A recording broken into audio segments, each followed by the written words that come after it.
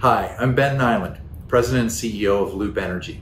It's an honor to be speaking with all of you today, and thank you for joining me as we discuss some of the challenges facing electric commercial vehicle adoption and what we can do about it. As you all know, electrification has now become a megatrend, and it's happening in every facet of our lives. A megatrend like this creates transformational change across many industries and with change comes opportunity. The opportunity of electrification creates a system problem involving both electric vehicles and charging infrastructure. As it often happens in the early days of any disruption, there are a lot of polarizing opinions over what the future looks like. When it comes to vehicles, some believe 100% battery solution, others argue the benefits of hydrogen. At the end of the day, the decision rests with consumers, and it's increasingly evidenced by the market.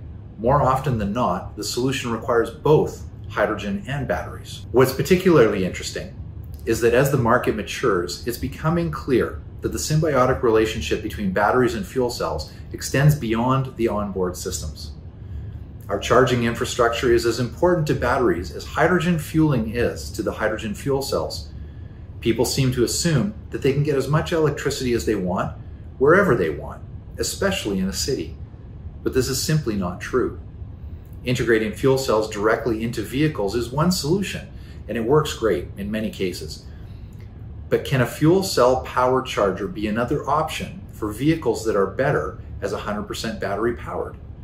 The market feedback we're about to explore will clearly point to the fact that it is. People might think the demand for hydrogen electric battery chargers came from the R&D labs of the fuel cell companies looking for new market applications, but it did not. It came from customers who are looking for a solution to that last mile problem for electric vehicle and industrial machine battery charging. Here are some examples. My name is Peter Stadegaard. I am one of the owners of the company Staat, and we're based in the Netherlands, Europe.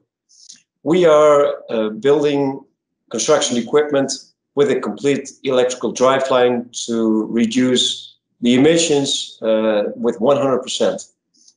The machines that we are building at the moment are a mini excavator, a two-ton mini excavator, a 16.5 ton wheeled excavator, and a 30 ton crawler excavator.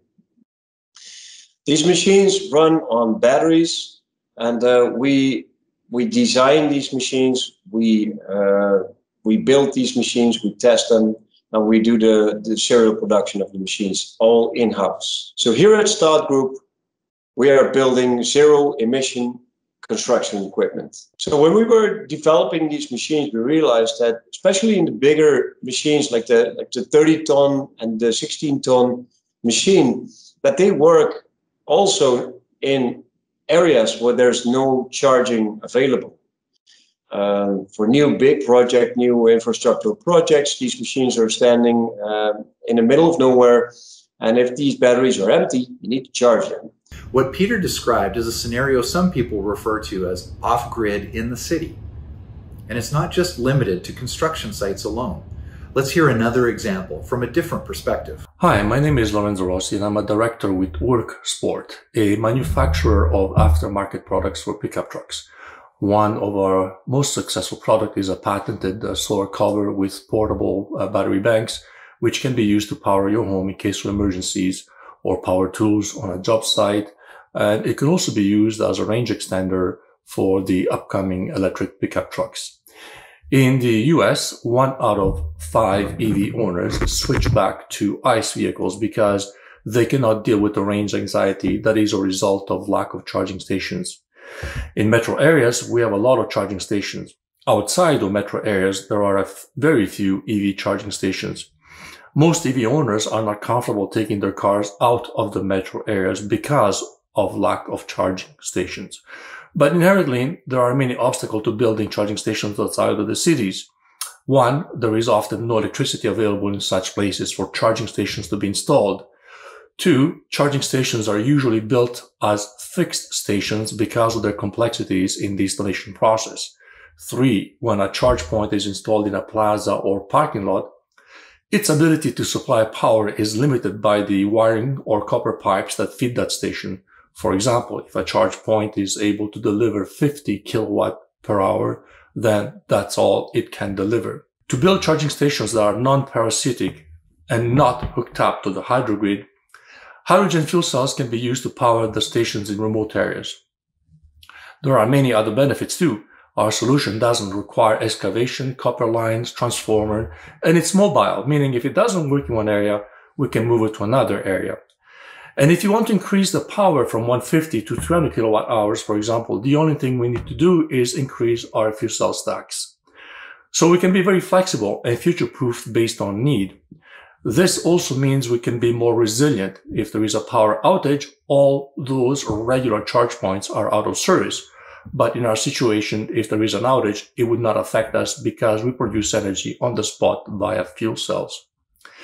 Imagine being able to drive from coast to coast on the Trans-Canada Highway on an EV without having to worry about where to charge. EV drivers won't do this unless they know they can charge outside of metro areas too. We listen to our customers, and that's why we are developing a solution to strategically place charge points using fuel cell technology where there is no grid. Here at Greencore, we're an EV infrastructure builder and developer. Our team is uh, very experienced. Over the years, uh, the members of our team have built some of the largest and most complicated uh, EV charging stations uh, in North America, including ones that have large solar canopies. And over the years, we've learned a lot of things. Location is key. Just like cell towers and Wi Fi, people expect infrastructure to be everywhere. People are not going to switch to an electric vehicle if they never see charging stations. So, for electric vehicles to really take off, and we're seeing a, a big jump in them as, as, as we currently sit today, but for them to really take over 20, 30, 50% of the cars sold, they have to, charging stations need to be everywhere. Uh, even today, you go, there's gas stations on almost every corner. The gas stations, you can't drive 20 minutes without seeing 20 gas stations. EV charging stations have to be the same thing. They've got to be in the grocery stores, the Home Depots, the Lowe's, the the the gyms parking lots, the bank, everywhere that you go, there has to be EV charging. They don't have to have 12, 15 stalls, just have four stalls everywhere. That cost to do that infrastructure is far less when you build the smaller sites, and the recognition that people will see more sites everywhere they go will build a comfort factor where people will choose to buy an electric vehicle because they'll be comfortable with the the fact that they'll be able to charge everywhere, whether they go to a restaurant, a, a, fast food restaurant, a quick serve restaurant, whatever you want to call it, a gas station. They'll be able to charge at the grocery store, at the gym, everywhere they go, and that will make a huge huge impact on, on a person's decision to buy an electric vehicle. The problem is, is not all these locations have the required power and, and available. You know, the, the power is going to be a problem. The, the electrical grid is tapped in a lot of places to max capacity. For the last several years, we've seen in California where they're having brownouts and blackouts over the summertime. What, what happens when you add uh, 500,000 electric vehicles uh, on the road in California, which that's going to cause havoc on, a, on an electrical grid that's already tapped in the hot summer months.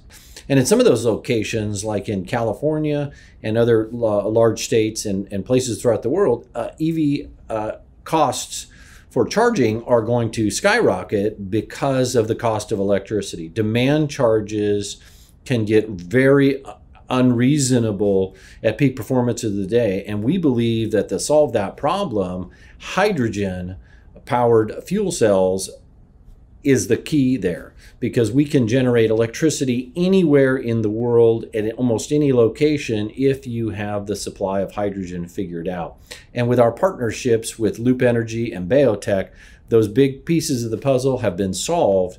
And we think this is going to be a huge, huge impact and change to the industry and really be able to roll out electric vehicle charging in some of the places we would have never thought and drive down some of those costs and really make it available to the to the normal user. It's our intent to build about 15 to 1600 uh, hydrogen powered EV charging stations, all DC fast over the next five or six years in North America. And we really think that's going to make a change. What they just described is what's driving the demand for hydrogen electric battery charging equipment.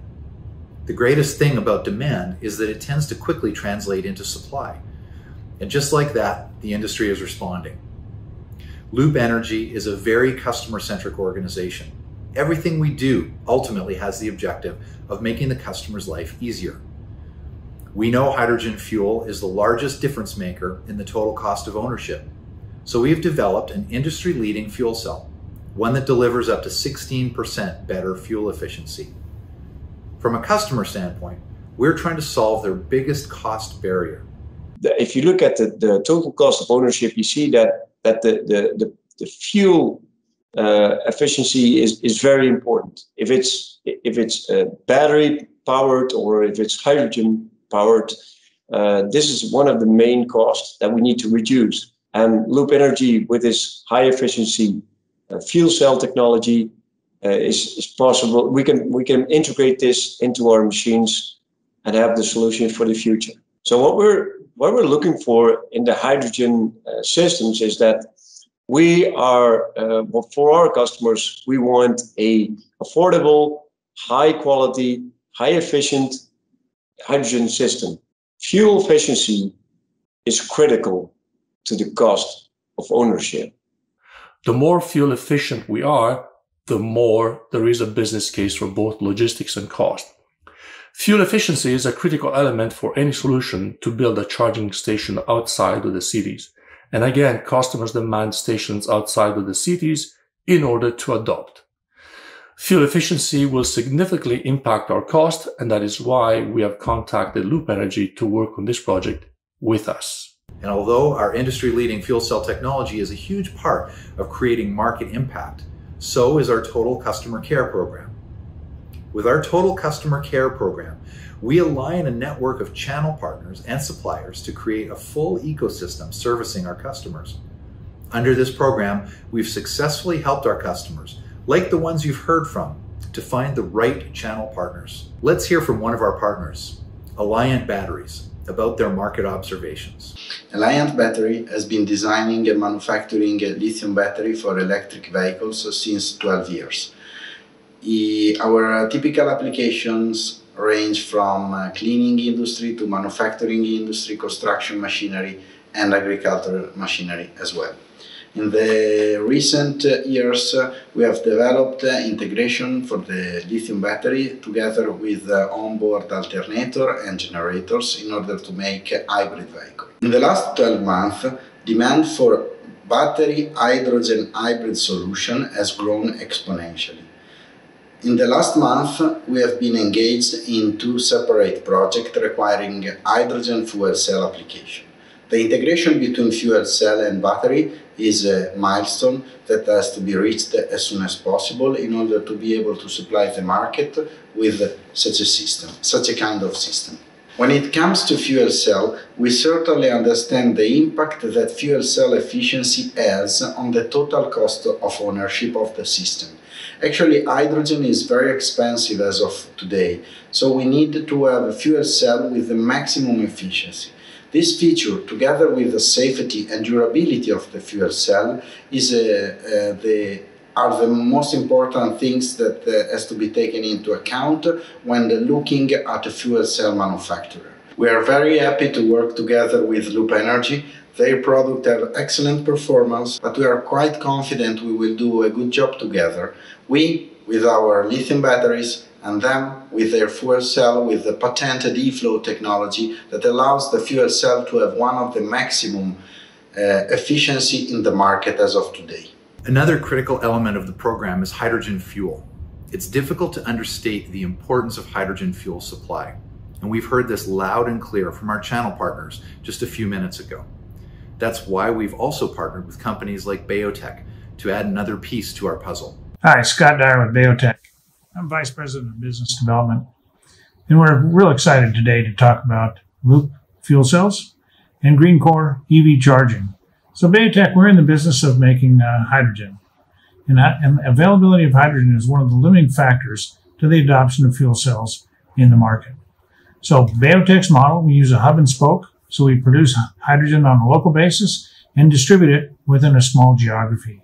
This optimizes the production cost and optimizes the uh, distribution cost of hydrogen, making hydrogen more affordable. And our belief is that more affordable hydrogen gives a higher opportunity for adoption of hydrogen fuel cells, and in this case, uh, EV charging. So, BayoTech, we're agnostic with regard to the color of the gas that we use. We use biogas, renewable natural gas, or any other color gas that you might want.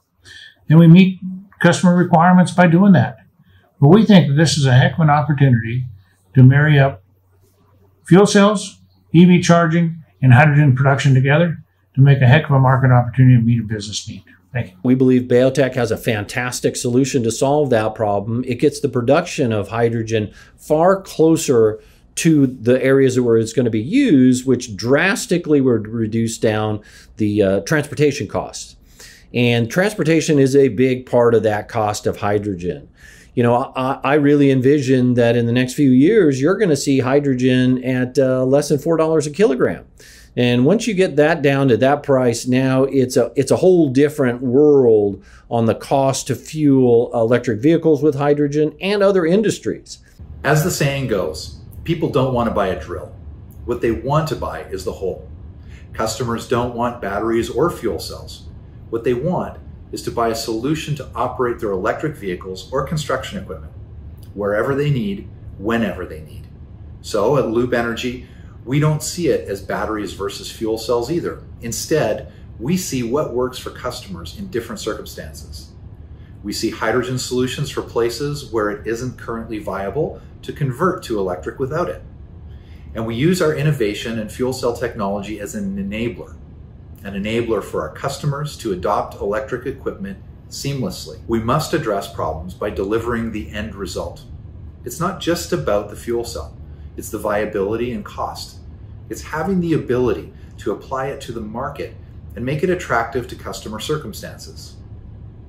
That's also why it's important for us to create an ecosystem for hydrogen adoption and why we've partnered with parts suppliers and hydrogen suppliers to create that end result. These are very exciting times in our industry. There's no doubt the electrification megatrend is creating a lot of opportunities for both battery and fuel cell solution providers. At Loop, we believe the best products are not designed around technology. Rather, products are built to solve problems in the most efficient way possible. The key to success is in listening to customers, developing the highest performance products to meet their needs, and working closely with channel and ecosystem partners to deliver seamless, integrated solutions. We also need to think creatively in instances where hydrogen on board is not the solution for electric vehicles, but where hydrogen gensets and charging infrastructure is where to address the electrification without sacrificing the customer's needs. Solutions start from listening to the real world. Let's address the customer's needs together. Thank you